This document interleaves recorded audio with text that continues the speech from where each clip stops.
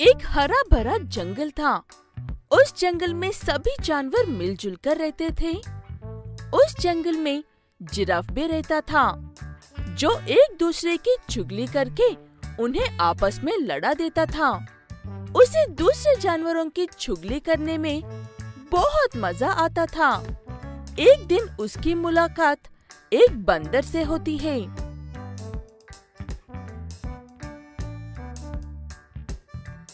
अरे बंदर भाई कैसे हो?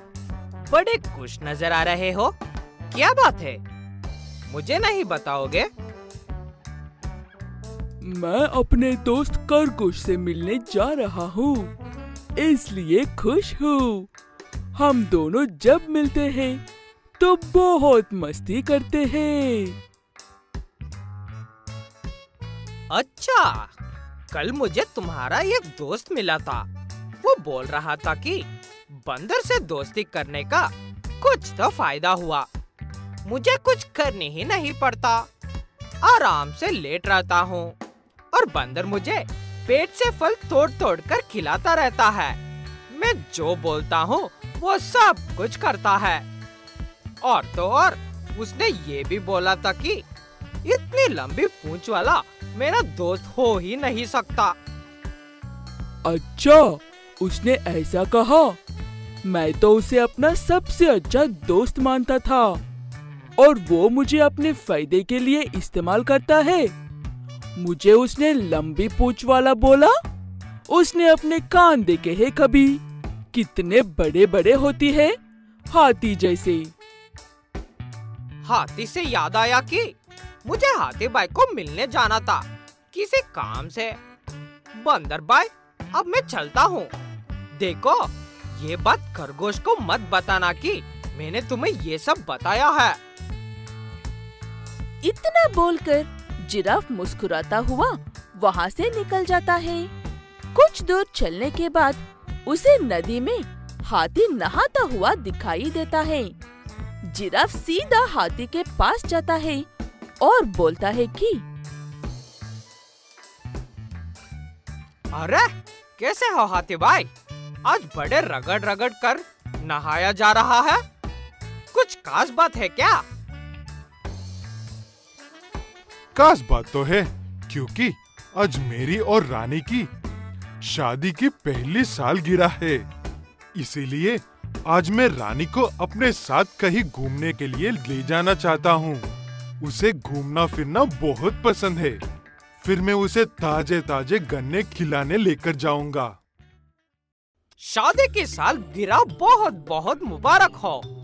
पर रानी आज कुछ खुशी से नहीं दिख रही थी। वो मुझे मिली थी रास्ते में। वो तो बोल रही थी कि, कैसे मोटे, काले और बड़े हाथी से मेरी शादी हो गई। उसे तो कोई हटे कटे और फुतिल दिखने वाले से शादी करनी थी। शायद उसका हाशरा घोड़े बाई की तरफ़ था।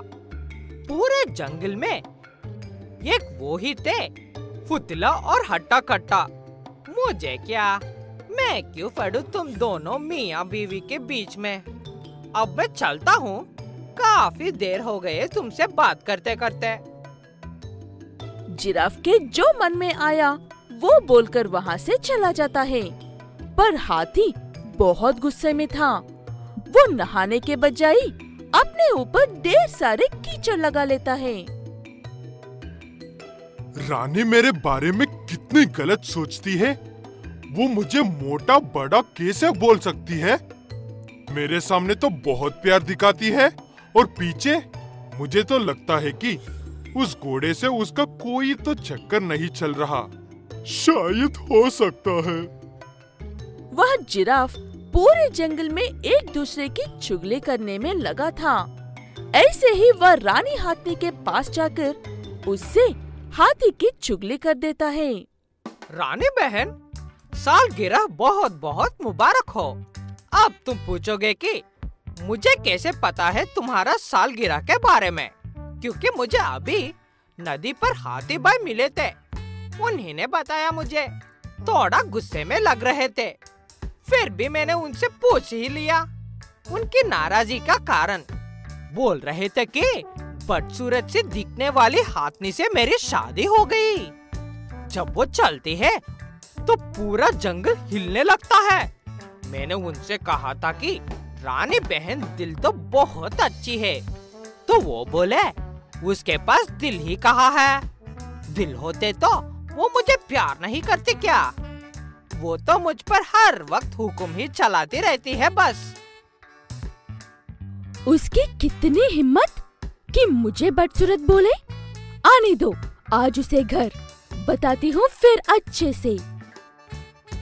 जिराफ चुपचाप से सब बोलकर निकल जाता है वहाँ से। जब हाथी घर पहुँचा है तो हाथी और हाथनी में खूब लड़ाई होती है। पूरे जंगल के जानवर एक दूसरे से बस लड़ते भिड़ते नज़र आने लगे।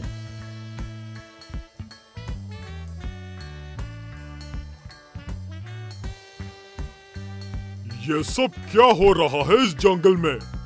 इस जंगल में रहने वाले सभी जानवर पहले तो मिलजुल कर रहते थे, पर अब क्या हो गया है? ज़रूर कुछ बात है। मैना, गुड़िया, तुम दोनों जाकर पता लगाओ, आखिर ये सब क्या हो रहा है? ऐसे चिड़िया और कौवा आसमान में उड़कर हर एक पेड़ पर बैठकर आखिर पता लगा ही लेते हैं। आखिर ये सब कौन कर रहा है? और जाकर शेर को बता देते हैं सब।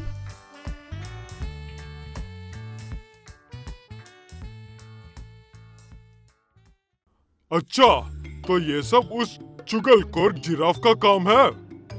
उसे तो अब सबक सिखाना ही पड़ेगा। शेर जिराफ को छोड़ सभी जंगल के जानवरों को अपने पास बुलाता है। और उन्हें जिराफ की करतूत के बारे में सब बता देता है कि वो एक दूसरे की चुगली करके आपस में ही लड़वा रहा है सबको। और वो सभी जानवरों से उसे सबक सिखाने को बोलता है कि सभी जंगल के जानवर छिप जाए।